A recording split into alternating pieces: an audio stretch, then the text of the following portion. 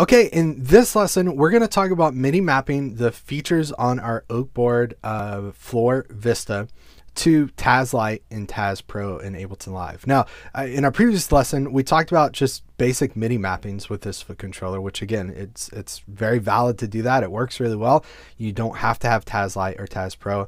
Um, but I want to show you the secret sauce, the the the magic stuff to make this screen on our controller work we have to have at least Taz Lite or Taz Pro. It is worth mentioning what's really cool when you buy this MIDI controller, Jeff does throw in a copy of Taz Pro, uh, which makes this uh, an even better bargain than it already was. So I have my MIDI controller connected via USB. It's already pre-configured in Ableton Live. It's ready to go. Um, let's add in Taz Lite. So I'm going to go up here to this folder.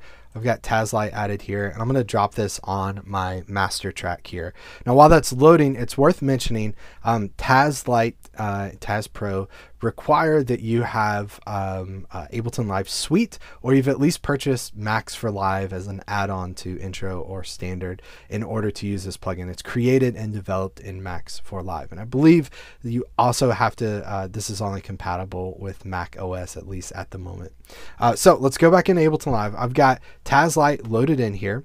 Um, I am in arrangement view. Let's clear out our back to arrangement. I want to just add some names here. So I'm going to do Command R to rename. We'll do an asterisk and we'll do song one. And then let's go here, asterisk, and we'll do song two. And we'll go to three, asterisk, in song three. So uh, obviously highly creative song names here. Now, as I enter those in, you see them, them pop up here on Taz Lite, uh, which is which is really really great. And we have separate um, Taz Lite and Taz Pro courses where we dive into the features of those. This is primarily how do we connect our MIDI controller to uh, those devices. Now, let's look at our controller here, and it's probably hard to see because the glare, but it's going to tell us what to do. Add Taz to set. Number one, we did that. Number two, MIDI map buttons. Okay, so now I have to MIDI map my buttons. So how do we do this? Go back in Ableton Live to Command M, uh, just like we're used to. I'm going to delete our previous mappings. Okay, I'm going to click play here on this play button, and I'm going to tap play on my MIDI controller. Okay, so play is now mapped. You can see that here. I'm going to go through the rest of these. Press stop. Okay, previous.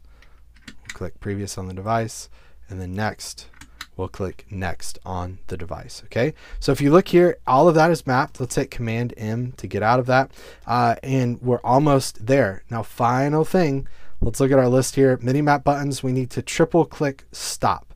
Now, uh, if you're like me, you're well, you're probably smarter than me.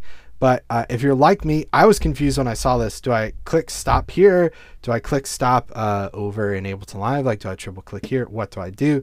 Well, uh, obviously you're smarter than I am, but in case you're not sure, we're going to triple click this stop button on the actual device itself. So I'm going to turn this so we can see this.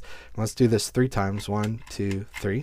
Okay, and we're going to wait just a second for it to link up with our set list. And then you'll see Taz Lite 2.1 connected we see song one, song two. Now where's song three? Let's press next here.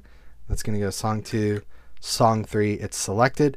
And what I'm going to do, I'm going to press play in a second, but let's show you Ableton Live. Press play, and you see it starts right there on song three. Now, it's worth mentioning the process with Taz Pro is exactly the same uh, same process. So if I go in here, I click Taz Lite, let's delete it. Let's drop in Taz Pro. Yeah, I'm going to drop that in my master set. I'm actually going to, uh, for the sake of keeping this in sync, disconnect my MIDI controller just for a moment. And let's reconnect it. Because we're going to reestablish this link okay, between these two. So that's going to boot up. Uh, now with Taz Pro, we uh, already have, have uh, chosen our locators here. We've named them. So let's do Command M. Let's click play. We're going to click play on our MIDI controller to map that, stop to map it, previous to map it, and then finally next to map it.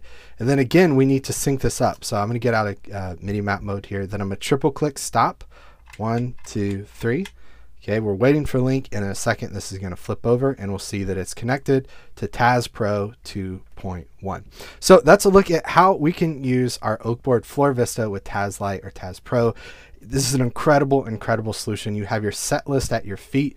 Um, as you navigate and go previous or next, you see that update on the screen in front of you. And again, I think this makes it the perfect MIDI foot controller, um, especially if your computer is going to be a distance away from you because you can see your entire set at your feet.